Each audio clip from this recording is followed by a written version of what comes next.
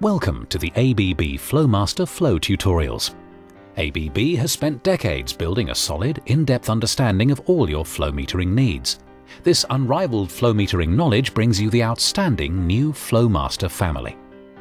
Flowmaster delivers new standards of power, performance, versatility and functionality.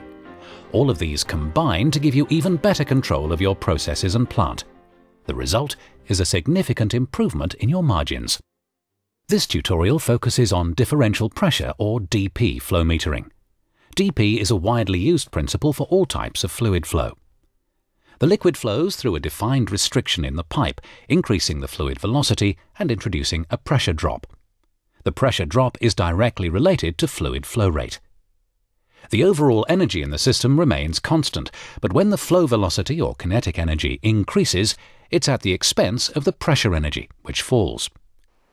The DP principle is particularly suitable where high static pressures are found, even up to many hundreds of bar, and when fluid temperatures are too high for other flow meter types.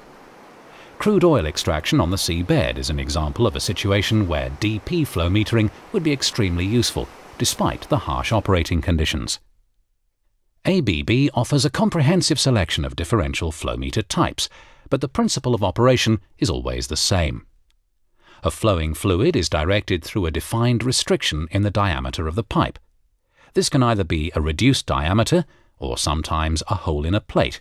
It could even be an intrusion into the pipe.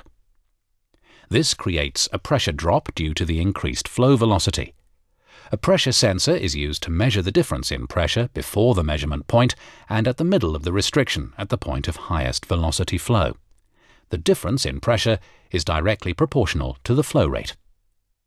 The restriction in pipe diameter can be a simple change in pipe diameter, as found in Venturi meters. It may also be a shaped intrusion into the pipe, like the ABB Wedgemaster, shown here.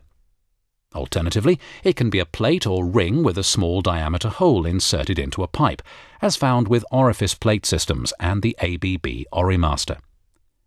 These accurate and robust instruments are widely used where harsh conditions exist, both inside and outside the process. They're equally suited to liquid and gas duty and are robust enough to deal with difficult applications, such as high viscosity liquids, entrained solids, and slurry metering. Thank you for viewing this demonstration. If you'd like to find out more about ABB's Flowmaster program, please call 0870 600 6122 or visit www.abb.com forward slash flow.